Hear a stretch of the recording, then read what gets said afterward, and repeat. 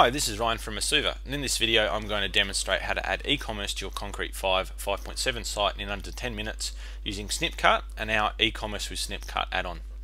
First of all, let me introduce Snipcart. Snipcart is an e-commerce service that provides a shopping cart and checkout service. It handles taking payments using providers such as Stripe and PayPal, handles things like discounts and a range of e-commerce functionality.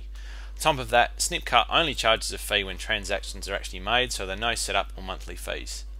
The idea of Snipcart is that it can be added to any website by simply adding a couple of scripts and a little bit of markup to enable some add to cart buttons. With this setup, it's your site itself that defines the products. Snipcart is only there to actually process orders.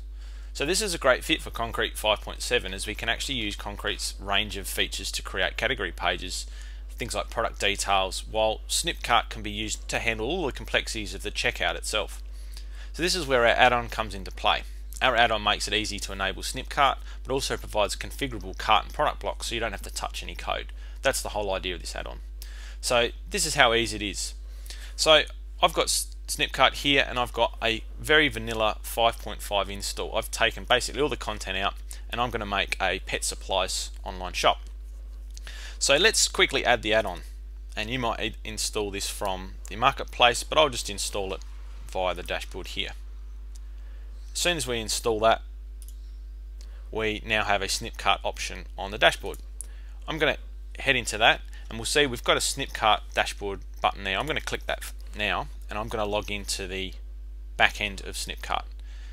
Now I'm making the assumption here that you've already registered for Snipcart. This only takes a few minutes. Uh, it's a very easy process. Once you've logged in, we just need to check a few things. First thing we need to check is that we are in test mode. There's a live and a test mode, and for now we want to be in the test mode. Next thing we want to do is we want to go down to the settings and we want to make sure that our web website domain name entered here matches the address that we're actually running the shop on. And I've entered this earlier. If we're going to be supplying products that need to be shipped, we do need to enable carriers. We need to enable carriers here and pick one of the options or in my case I've done a fixed price for delivery and I've saved that here. The last thing we need to do is we need to go to the account option and we need to grab the API key and this is the testing API key here and I'm going to copy that to my clipboard. Now if I go back to Snipcart, find there's a spot in the configuration here for me to paste that in. I need to make sure that the shop is in testing mode and I'm going to save the page here. Once that's done, I can actually start adding some blocks to my pages.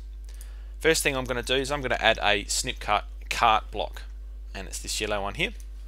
And I'm going to add this up to this side of the page. I'm going to leave the um, the options pretty much the default here. And we've got a, a, a button there now. So I'm going to save this. Now by default it's going to spit out some very plain styling um, but we can use Concrete's styling features and design features just to tidy this up a bit. So we'll do this now so let me align this to the right and I'll add a little bit of spacing at the top and that sits nicely there. Okay, so we've done that. We've got our checkout ready to go. Next thing we'll do is we'll add a product in. So I'm going to add my first product. And here we have a product block. We have lots of options here, but basically it's a case of just filling out the, the main, main fields and uh, exploring the, the others at a later time. So I'm going to add some, um, some cat food and so I'm going to put in a product code and I believe that we have some meow mix. So I'm going to say meow mix, one kilogram bag. Now I'm going to put in a, a price here. So I might say that's a $20 bag. It's cats. Something like that as a description. Now there's other options I can I can pick here, but I'll leave everything at the moment. I'll pick uh, a an image. I've already got an image in the file manager for my Meow Mix, and I'm just going to trim this image. I'm just going to make it fit on the page a little nicer. We add here, and straight away we've got our product. We've got an add to cart button, and we've got our image. I might just change my button here just so it looks like the standard bootstrap button and I'm going to save it. Okay, so we've got a product, we've got a checkout. Let's actually try and put through an order. So I'm going to hit add to cart. We can see that our product's been added there. I'm going to go through the order. I'll try and do this quickly.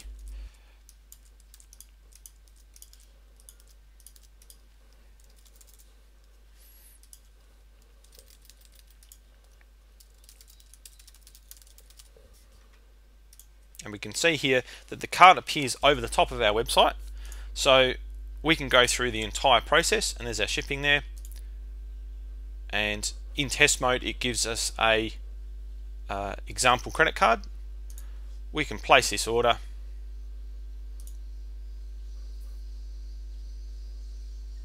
And it's all done.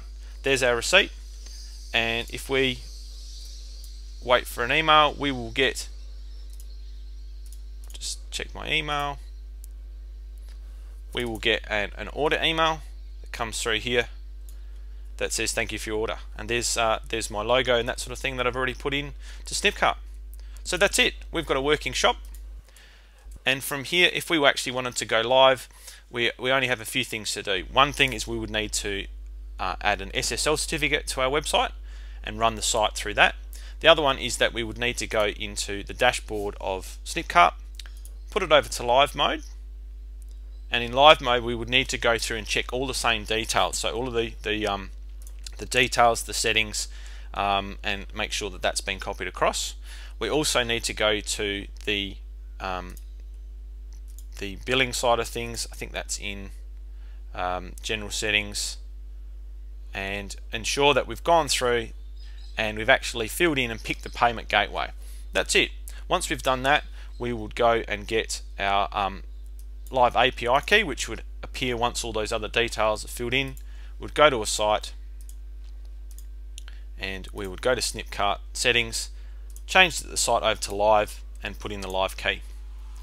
So that's it. That's a fully working e-commerce shop that could take payments and process orders and the orders will appear in Snipcart's dashboard and we can have a look at that now. We can see our our order.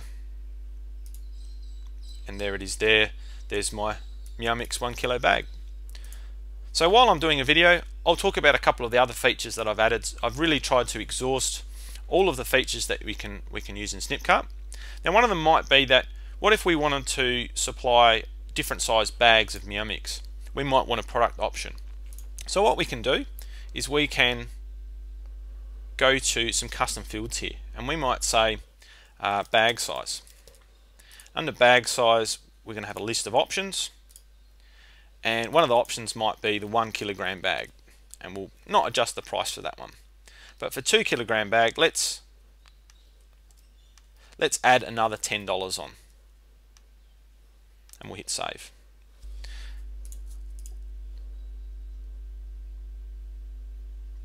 We can also um, adjust a whole range of different things to do with the way that the block is outputting information. So at the moment I've enabled a lightbox. So if we actually have a look at this and save this, this block, this is actually automatically lightboxing. So we've actually got some quite sophisticated features straight away. We can also edit the cart itself. If we wanted to do things like only show the cart when there's items in the cart, we can do that. So there we go. So it's hidden by default. But let's add our Meow Mix to the cart. And we'll see we've got Meow Mix, but we've actually got our options here. And I can continue shopping, but our checkout button has appeared. And we can get rid of that and it'll disappear. So let's add that back in. Now if I pick two kilograms and I go through, I can see my prices change. So we've got those options as well. On the back end side of things, we've got the ability to manage stock levels so we can enable stock tracking. And there's some instructions for this but basically we can um, set up a limited number of a product and this will prevent ordering more of that uh, too much of that product. It will make that product basically say it's unavailable once it's exhausted its stock level. We can also add custom fields to an order so it might be um, do you want gift wrapping uh, across all of your products or it might be accepting some terms and conditions And finally, nearly all of the Snipcart's cart itself can be styled with some CSS overrides. Um, things like buttons on the icons. We can even um, change some of the text for the Snipcart cart itself. So all of the text that appears on Snipcart, all of these things here, these can be can be customized.